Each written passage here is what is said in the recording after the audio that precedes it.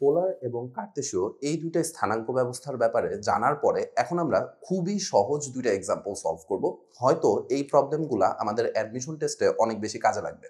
কারণ এখন দেখা যাচ্ছে অনেক জায়গায় অ্যাডমিশন টেস্টে এমসিকিউ থাকতেছে এবং সেই জায়গায় যদি আমরা নর্মালি লেন্দি প্রসেসে অঙ্কগুলো করতে চাই, সেই ক্ষেত্রে হয়তো আমাদের পক্ষে ওইটুকু প্রবলেম সলভ করা পসিবল হবে না। সো আসেন আমরা খুবই সহজ সহজ দুইটা প্রবলেম একটু দেখি। প্রথম প্রবলেমটার স্টেটমেন্টটা কীরকম?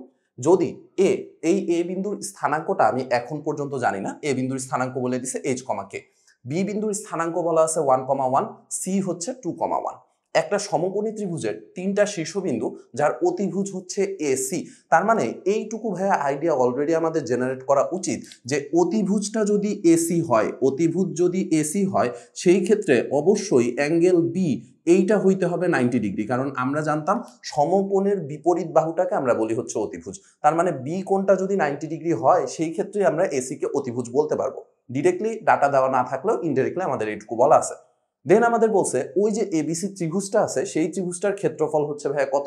ওয়ান বর্গ একক। তাহলে এ এর স্থানাঙ্ক কত হবে? তার মানে আমাদের কাছে এইচ আর কে এই দুইটার মান জানতে চাইতেছে। আচ্ছা সো এখন আমরা হয়তো অনেকেই ডিস্টেন্স ফর্মুলা বা যেটাকে আমরা দূরত্ব, দুইটা বিন্দুর মধ্যবর্তী দূরত্ব কীভাবে বের করতে হয়, সেই জিনিসপত্র দিয়ে এটার মান হয়তো বের করতে পারব। ক্লাস নাইন টেনে আমরা এই জিনিসপত্র শিখে আসছি। এখন আমরা দেখব এটাকে কীভাবে একটু অন্য ওয়েতে সলভ করা যায়। আমরা এতক্ষণ যেই বেসিকটুকু শিখলাম, যে কোন অক্ষ বরাবর কতটুকু যাওয়া লাগবে, এই বেসিকটুকুর উপরে বেস করে আমরা আসলে এই প্রবলেমটার মতো অনেক বড় একটা প্রবলেম সলভ করে ফেলতে পারব। কোনো টাইপের কোনো ক্যালকুলেশন ছাড়া। কীরকম? দেখেন, আসেন, আমাদের কাছে যে স্থানাঙ্কগুলো দেওয়া আছে, এগুলো একটু প্লট করি। কি কি দেওয়া আছে? বি এর স্থানাঙ্ক দেওয়া আছে ওয়ান কমা ওয়ান এই কথাটার মানে কি?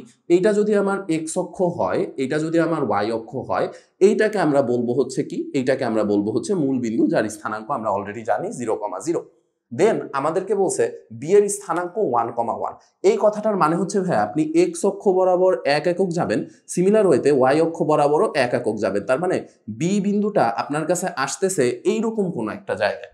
আচ্ছা এবার সি এর কথা কি বলছে? দেখেন সি এর কথা বলছে সি এর স্থানাঙ্ক টু কমা ওয়ান এটার মানে কি? এটার মানে হচ্ছে এক্স অক্ষ বরাবর আমি কত একক যাব? এক্স অক্ষ বরাবর যাব দুই একক ওয়াই অক্ষ বরাবর কতটুকু যাব? ওয়াই অক্ষ বরাবর যাব এক একক। তার মানে সি বিন্দুটা আসবে আমার এরকম কোন একটা জায়গায়। আচ্ছা এখন আমরা অলরেডি ডিসিশন নিয়ে আসছিলাম বি কে অবশ্যই এক সমকোণ বানাইতে হবে।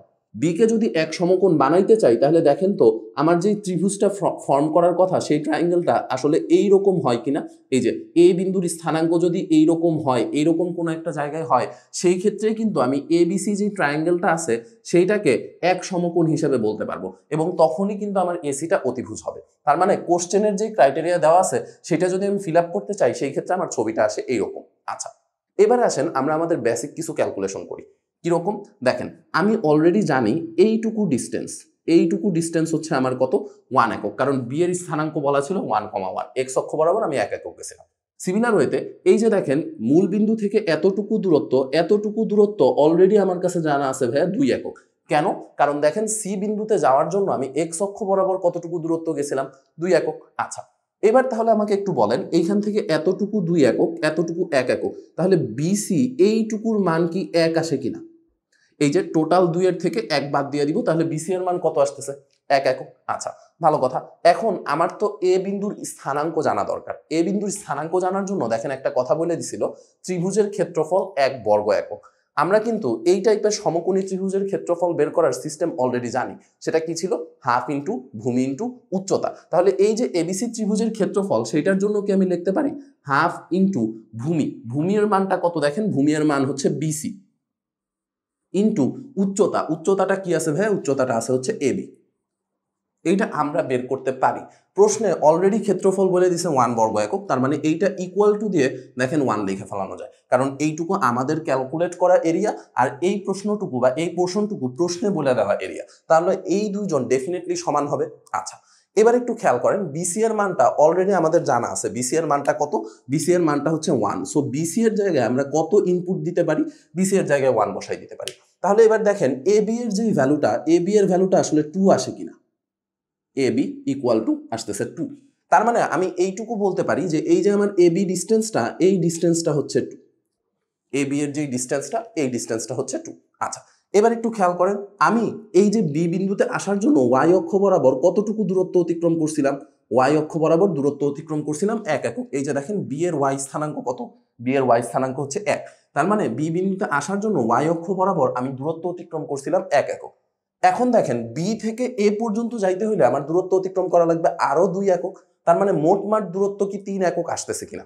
মোটমাট দূরত্ব তিন একক আসতেছে কিনা? আচ্ছা তাহলে দেখেন এর স্থানাঙ্কটা এরকম আসে কিনা? ওয়ান কমা থ্রি কারণ দেখেন এক্স অক্ষ বরাবর আমি এক একক যাব আর ওয়াই অক্ষ বরাবর মোট আমার কতটুকু দূরত্ব অতিক্রম করা লাগতেছে? এ পর্যন্ত পৌঁছাইতে মোট অতিক্রম করা লাগতেছে তিন একক দূরত্ব। তাহলে এর স্থানাঙ্ক কত আসতেছে ভাইয়া? এর স্থানাঙ্ক আস- আসতেছে ওয়ান কমা থ্রি এইবার আপনাদের আরও একটু চিন্তা করতে হবে। সেটা কি? যে ভাইয়া, আপনি যে এ বিন্দুটা এই জায়গায় বসাইছেন, আপনি কিন্তু শিওর না যে এ বিন্দুটা প্রথম চতুর্ভাগেই আছে।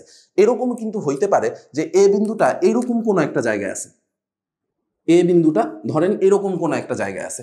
এই ক্ষেত্রেও কিন্তু আপনার সমকোণী ত্রিভুজ গঠন করা পসিবল এই যে দেখেন, খুবই সুন্দর একটা সমকোণী ত্রিভুজ তৈরি হইতেছে এবং সেই ক্ষেত্রে আপনি ত্রিভুজটার নাম দিতে পারতেন এ বি সি। তার মানে এখন এ এর আসলে দুইটাই স্থানাঙ্ক আসবে। একটা না হয়, এই যে এক্স অক্ষ বরাবর না হয় আপনি এক এককে আসবেন, এটা নিয়ে কোনো সমস্যা নাই।